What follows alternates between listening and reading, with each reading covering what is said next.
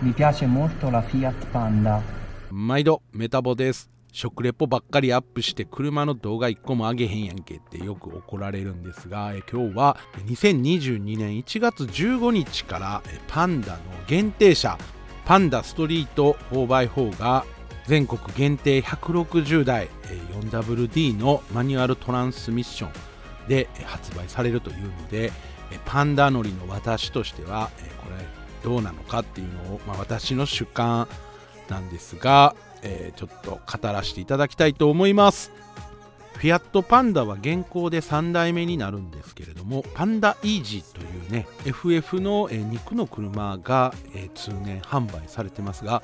時々限定車が、出ます、限定車はパンダイージーと同じで FF でただ装備が豪華になって例えばオートエアコンが装備されたりとか限定色のタイプが販売されたりもするんですが、実は 4x4 4WD が販売されることがあります。4WD はねちょっと高さも車高も高くなって前と後ろのグリルがちょっと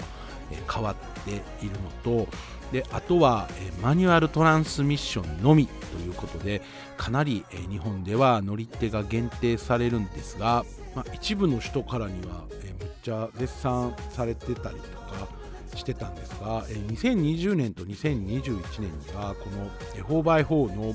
SUV タイプですね。パンダクロスというのが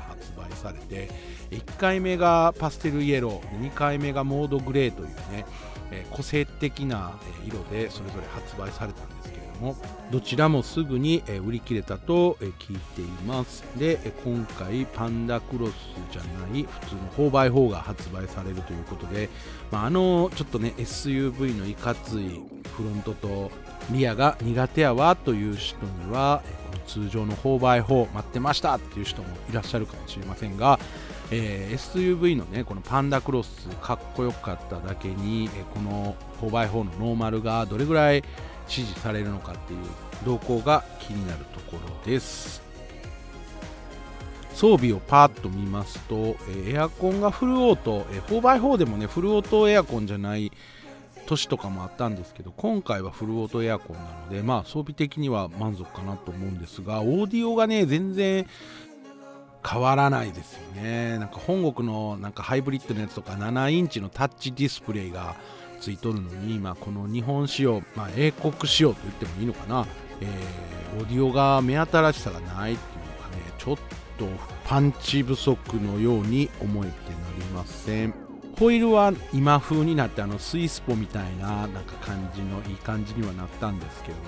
いやでもホイールぐらいちゃうかな。まあ色は、うんまあ専用色としてホイールの模様以外はなんか目新しさがないような気もしますがメタボのおっさんの歌。今の円安で、まあ、あの去年もフィアットとアバルトもなんか20万ぐらい値上がりしましたがその中で、えー価格が242万円というのを維持しているっていうのはもうなんか減価償却に入ったとまあそんな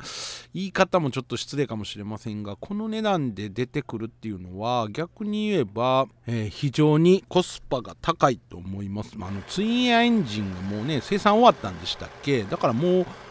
そろそろこのツインエアエンジンのねこの独特のサウンドをあの楽しみたいという人からすればもう新車を買うチャンスってそうないと思うので、まあ、そういった方とかに支持されるんじゃないかなと思います。パンダイージーとの差は、まあ、4x4 は4駆であるっていうことと、マニュアルトランスミッションっていうことなんですが、あと高さが、えー1550から1610に上がるので、まあ、あのあんまり高さ気にしないっていう方もいらっしゃるかもしれませんが実は立体駐車場だと1550じゃないと入れない。最近ねあの立体駐車場やたらあの安いんですよ。でただ1550以下っていう高さ制限があるので、えー都心部に住んではるとかマンションの立体駐車場に入れたいという方はね一度そこら辺もえ検討事項に入れられてはいかがでしょうか。まあその他にも、まあ、それぞれ皆さん考えなあかんことあると思うんですが、まあ、それはディーラーとかで試乗されてまあいろいろ問題解決してことが大切かなと思いますが私あのパンダクロス乗ってるんですけどこのねツインエアの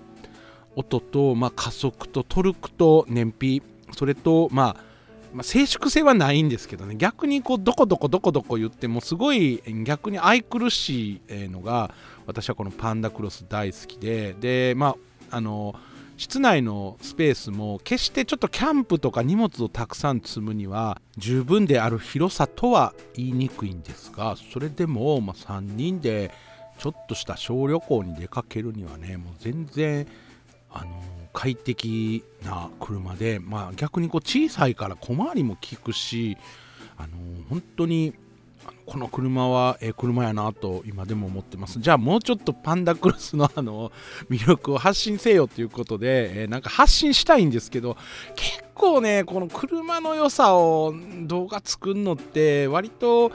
なんかみんな結構厳しいじゃないですか。だからなんかちょっと作るのを躊躇してるんですが頑張って、えー、魅力メリットとかねデメリットなんかも含めて発信していきたいなと思いますのでよろしくお願いいたします。今日は、パンダストリート 4x4 が、えー、発売されるということで久々に、えパンダネタ発信してみました。どうもありがとうございます。最後までご視聴いただきありがとうございました。チャンネル登録いいねボタンコメント等お待ちしております。それでは皆さんまた。See you!